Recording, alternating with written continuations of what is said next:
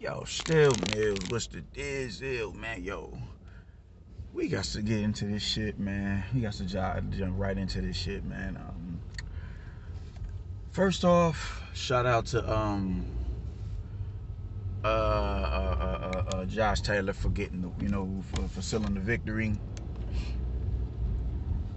And shout out really to Jack Catterall because I, I I did not expect that from him. I've never I had never heard of him prior to this fight, and uh, oh, fuck that. I never heard of him prior to this fight, and I thought he was gonna go in there and just get you know get washed. And man, I was wrong as two left fucking feet, man. So shout out to him for really, you know, venturing into somebody else's turf and, and putting on a, you know, a really, really, really, really, really good performance, man. A real scrappy performance. But um this wasn't Josh Taylor's best night out. Just just he didn't look that good in there tonight. He honestly didn't. Now, granted, he went into the ring, you know, in search of a knockout. And you can tell that, man, because he he showed no IQ in there. He, you know, he showed no IQ in there whatsoever, man. He barely used his lead hand. He was just really trying to, you know, line him up for that left down the pipe off of the jab. And it wasn't even a jab that he was trying to gain command respect with the jab to further open up opportunities to land the lead, uh, the, uh, the the your back left, his back left hand. He just went in there, you know, flickering with the jab, trying to, you know, flicker with the jab and then launch, you know, a, a two off of that, and it, it never landed. And he was so hell bent on throwing it that he was overshooting with it. He would completely overshoot the shot, and he'd find himself on top of Jack Catterall, and Catterall would wrap him up smart thing to do. Catterall was boxing smart. I want to say the early eight rounds. He was boxing really smart, man. Um, that first round he came out, he landed a really good left hand, and everybody was like, "Oh, that shit took us by surprise." We wasn't expecting that shit. We wasn't expecting that, and you know he, you know he worked really good off of the jab. I think uh, Taylor strung together the next three rounds, and then Jack Catterall came back you know, he started landing in combination with the, you know, with the left hand. Man, he landed a really big combination that opened up a cut under, you know, Josh Taylor's eye, man. he was out jabbing him. I want to say the, you know, what was that? Um, see, the, going into the fifth, yeah, around about the fifth round, you started to see the pendulum swing back into the favor of Jack Catterall off of the first round, man. And he, you know, he had really good success with it, man. He was, you know, really good with the jab. Josh Taylor was there to be hit with the jab. Yeah, he was falling asleep right in front of him, and every time he would do that, he would get punished. And he was it was bad enough he was carrying his his lead hand really low. And one thing I was um I was seeing from Taylor, man, you're already tall. You're already tall, man. He's like, you know, you know, weaving under the, you know, the the the, the straights and the round shots of Jack Catterall. And I'm, it was just kind of weird to me because I'm like, man, like I get being the aggressor, man, but you know, and then you was in a rhythm after the second, third, and the fourth round, man. I'm like, why aren't you getting back on your back foot and make him come and find the, you know, come and come and answer the shot that you, you know, you would land. Like, why are you just standing there in front of him, man? It was just like, all right, whatever, man. Like, whatever with it. I'm happy about it, but I'm like, man, fuck, man, come on, bro. So Jack Catterall gets back into rhythm. And he lands that you know that big combination, and then I want to say the eighth round he scored a knockdown. I was like, oh my god, this fight is slipping away from this dude, man. And he never really made adjustments, man. He um he would get like uh, I'll say like in the second round, you know, he was getting to the side of the jabs and getting up under the jabs of Jack Catterall, man. But it was never really nothing like he wouldn't punish him after he would do it, man. Like we didn't, I didn't really see, you know, a, a good display of counterpunching from jo, from Josh Taylor until later on in the fight after Jack's legs started to dissipate. That's when I started seeing counterpunching, you know, you know, precise counterpunching. Jack Catterall really started getting, you know, lazy, not lazy, but really getting um uh, just uh, hell bent on landing that big overhand left that he dropped that he dropped Josh Taylor with, and it was leaving him wide open. It was leaving him wide open, and uh, you know Josh Taylor was able to capitalize on that. But that was late in the fight. Then mid rounds, I'm, I'm like, yo, man, Jack Catterall's winning these. He's, he's winning these middle rounds, man. You know, it was just, you know, I seen him, I forget what round it was. He switched for a split second, and I think he landed a short uppercut on the inside. But after that, it, he was just, he went right back to the southpaw. So I'm like, man, you have that skill set to your advantage. Use it. You know, use it. Because it even, like, I, I just, I, I, he didn't really have an answer for Josh Taylor's movement, even with him advancing and closing distance in the manner that he did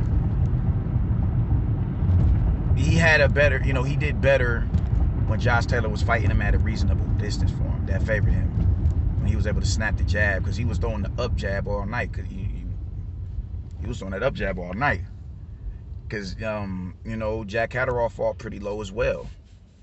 But he, you know, when Josh Taylor was able to close distance, he didn't really have an answer for he, he, he he didn't have an answer for his footwork, man. So I'm like, you switch southpaw, man. You had you know, you add that dimension to your game where you can, you know, come in at that angle and land that right straight down the pipe. Or, you know, you got your left hand closer. That's the shot that you clearly want to land. You know, you can land that left hook.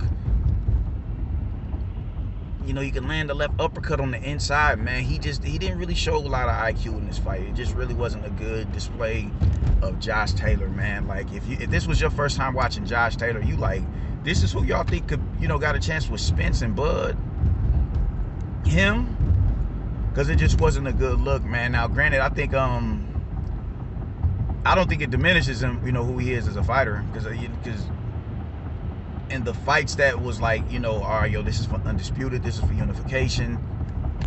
These is fights that's really gonna, you know, solidify me as, you know, who I, you know, solidify myself in the in this in this in this in this division those are the fights that he showed up for and he allowed his brain to get him the victory as opposed to just the brawn.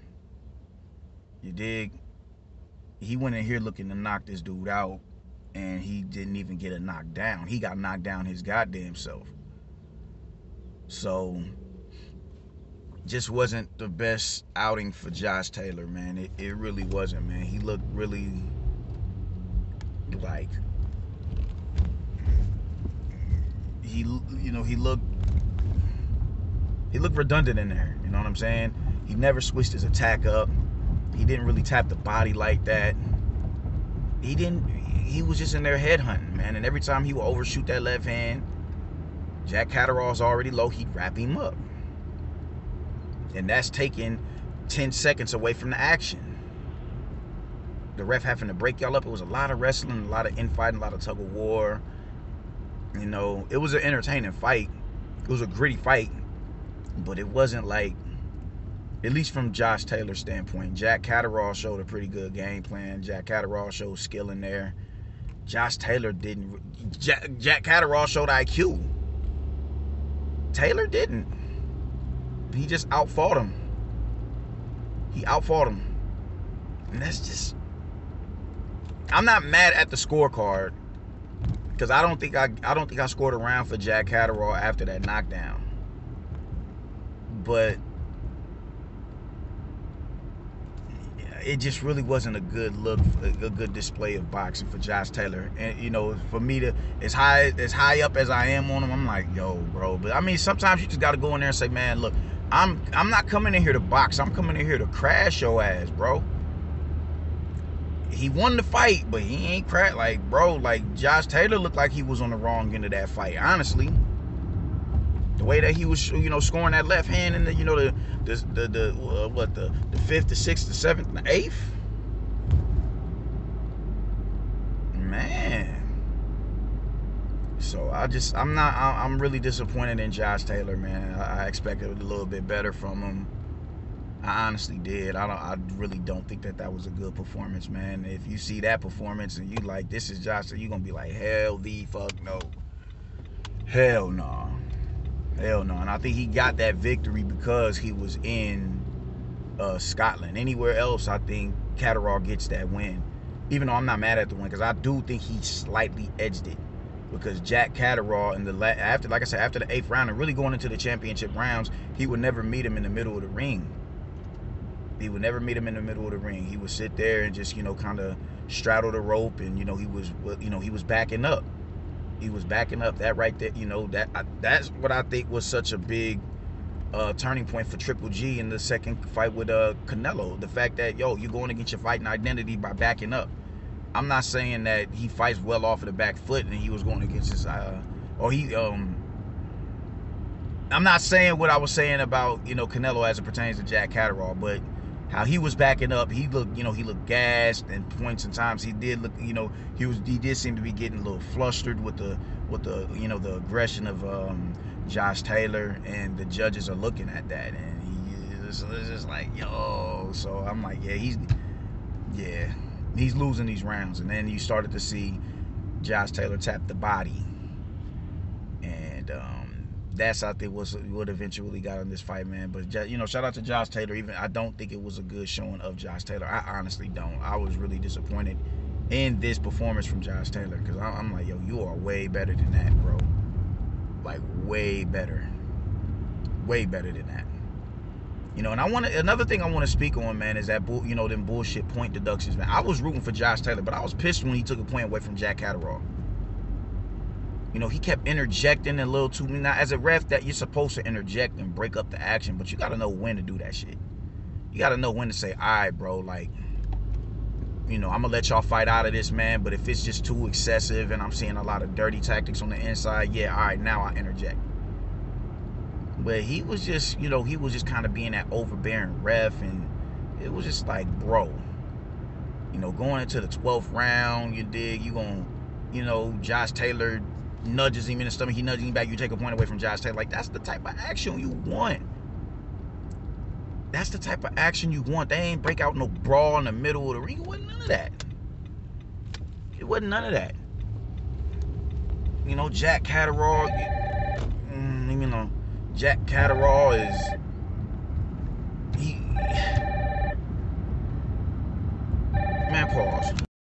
But yeah, man, I, I did I didn't like that I didn't like that um that point deduction, man. I thought that was bullshit because I was rooting for I was rooting for Josh Taylor and for him to do that to Jack Catterall at a pivotal moment like that. I'm like, yo, are you serious right now? Really? Like he may have shot himself in the foot with become, you know, with doing another championship bout.